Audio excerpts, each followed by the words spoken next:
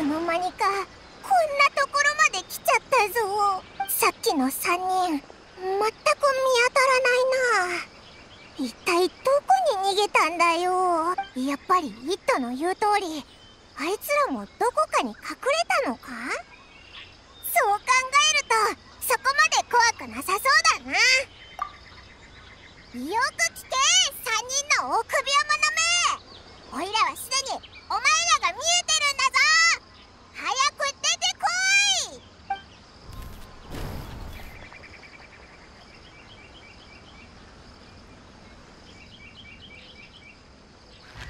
うわーなんでここに人がいるんだよ声も出さないでいるからびっくりしたぜそんなことしちゃダメ。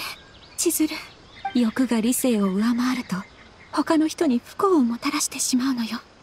同じ過ちを繰り返すわけには。もう少し耐えるの。あんなに長い間耐え続けてきたんだもの。このくらいの時間きっと大丈夫でしょ。こんにちは。3人の悪いやつがここを通るのを見なかったか？えっ、とえどんな感じのやつらかっていうと。君たち私に声をかけたの？こんな。私に声をかけたの？ここに来るべきじゃなかったのよ。私に近づくべきじゃなかったの。命が惜しければ早く離れて。じゃないと君たちの魂は永遠にここをさまよい続けることになるわ同じ過ちを繰り返さないで帰って帰れ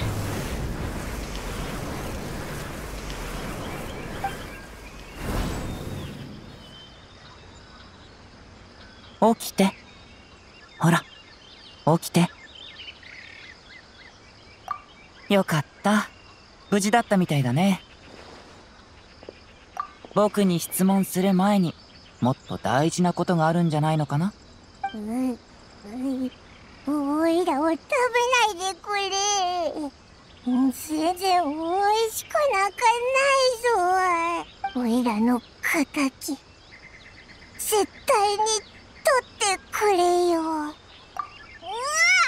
あおおいらのこと助けに来てくれたのか兵装までさっきの怖いやつはお前らが追い出してやったのか怖いやつ？うん。僕が着いた時は、君たちが気を失ってここで倒れてただけ。周りに他の人の姿はなかったよ。一体何があったの？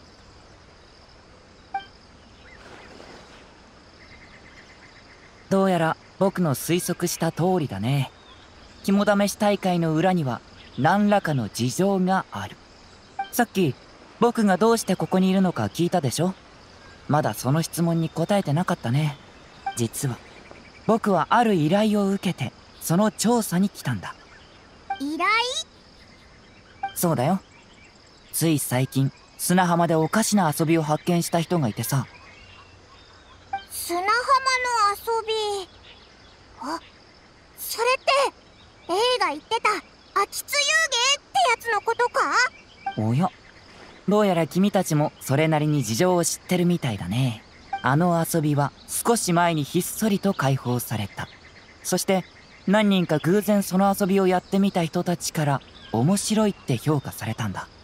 でも砂浜には話を聞いて集まってきた見物客以外には誰もいなかった。例えると、道端に屋台が一つ増えてるのに、天使の姿がどこにも見えないって感じだ。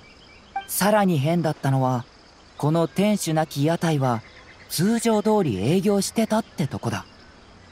砂浜に来た人は告知板に声をかけるだけで遊ぶことができるようになっていた。まさかゆ幽霊なのか？うん。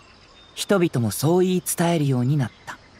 その噂は少しずつ広まっていき、やがて、たたりだって話になったってわけさ。噂はだんだん本当のことみたいになってきて、そこに行く度胸のある人も次第に消えていっちゃった。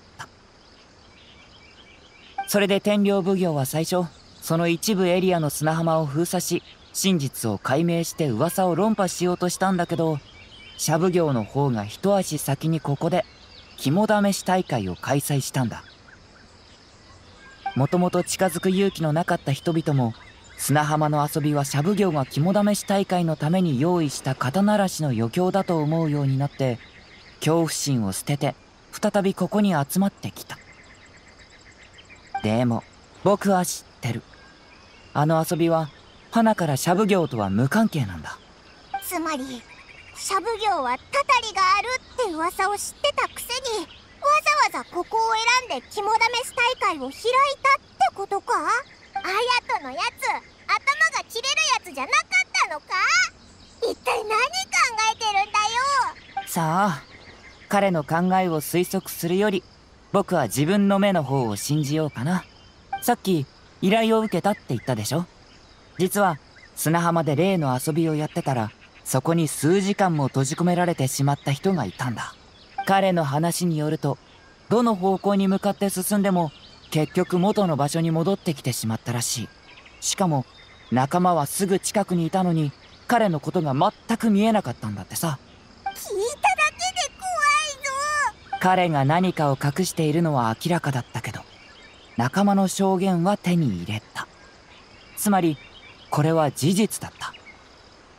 しかもこの一件が原因でますますたたりの噂は本当だと思われるようになったシャブ業が肝試し大会を開催することを公表するまでその砂浜に近づく勇気を持つ人は一人もいなかったんだ。